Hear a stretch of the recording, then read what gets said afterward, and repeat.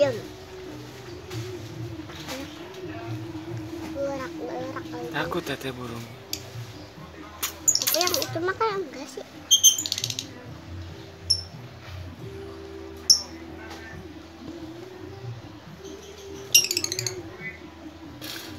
Jangan terjatuh tete.